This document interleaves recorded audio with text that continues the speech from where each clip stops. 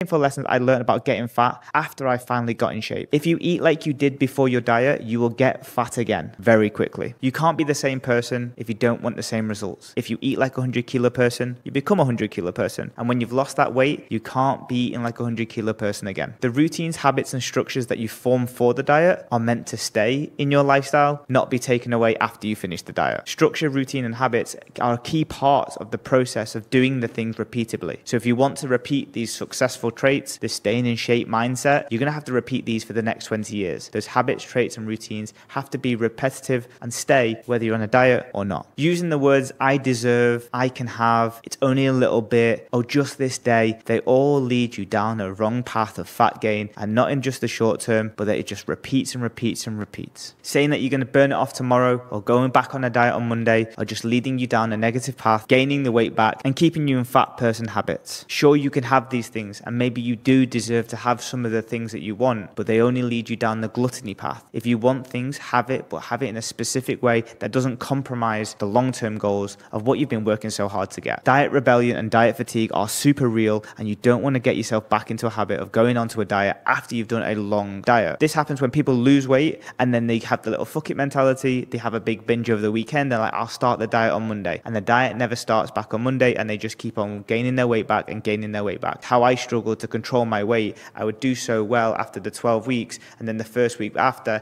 I'd be all in, eating whatever I wanted, saying that I'd go on a diet on Monday. But because you've dieted for 12 weeks before, you've built up this level of rebellion. You don't want to do what you did before. It's a mindset trick. So it's easier and better to make sure there's discipline, the structure, and the specific habits and routines and ways for you to enjoy your food, not have to go back on a diet on Monday that never comes.